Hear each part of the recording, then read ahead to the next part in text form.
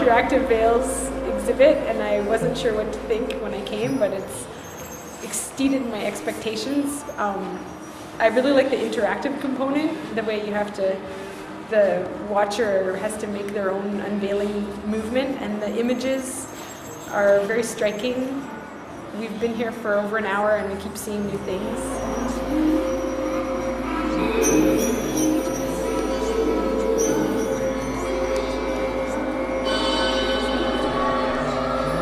What I see in this room uh, is what I haven't seen in my life.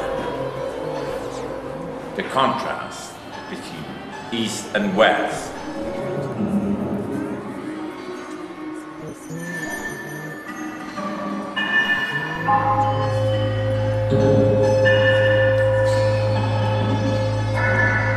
Oh, I'm just like totally enamored by it. This is totally unique. I would say the uniqueness is amazing.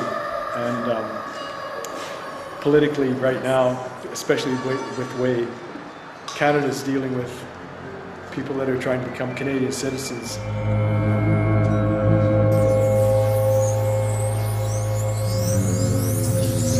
So there is something more than rejection or acceptance, which is some form of evolution. And that's what I see with this contrast. Just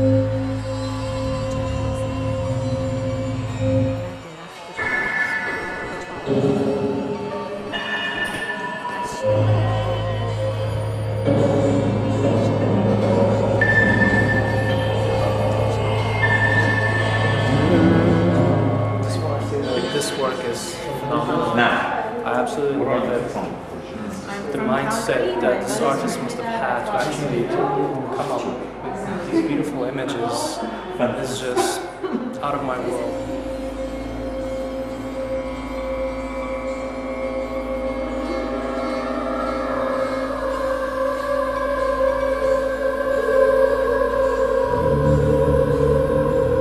So all your if you want to see the photos, you have to keep moving.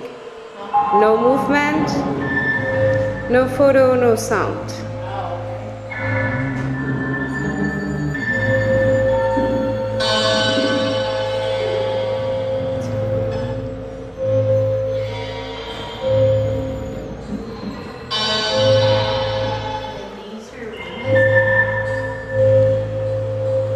At left, you have Eastern woman, and on the right, you have Western woman. And when you stay in the middle of installation, when there's a hole,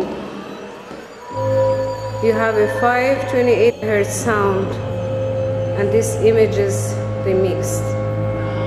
I am truly moved by this event, by the pieces. It's really opened my mind, expanded the way I think about women and the dichotomy of women, the dichotomy of culture, and one is free, one is not, but at the same time, is she really free, is she not? I mean, it's just, it's, I'm coming away from this like with a lot of questions, and I'm hoping to think more and come back with a lot of answers, and I feel really privileged.